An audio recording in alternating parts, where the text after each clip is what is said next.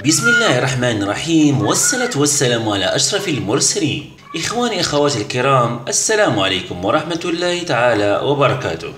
موضوعنا اليوم سوف يكون عن مشكلة عدم نمو الريش عند صغار البادجي أو عدم اكتمال نموه. إذا على بركة الله من أسباب هذه الأخيرة هي إما أن يكون عيب وراثي وهي تزاوج طيور الإخوة أو تزاوج من الآباء فينتج هذا العيب. وجود نقص حاد في الأملاح المعدنية للآباء والوراثة تنتقل إلى الصغار.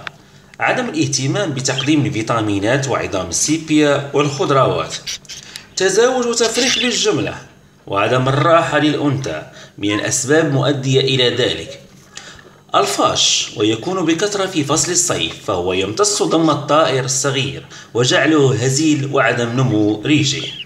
إصابة بمرض القلش الفرنسي وهو مرض مع كامل الأسف ليس لديه علاج وهو يسبب تساقط ريش الزغاليل ولا ينمو مرة أخرى ويكون الطير هزيلا جدا وأي حركة عصبية للطائر يكسر الريش بمعنى أن الريش يكون معجز.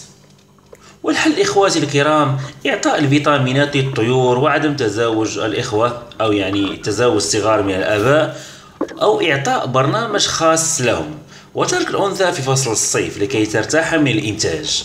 وأي سؤال أنا في الخدمة. في رعاية الله. إذا أعجبك الفيديو لا تنسى الضغط على زر like و comment تحفيزي.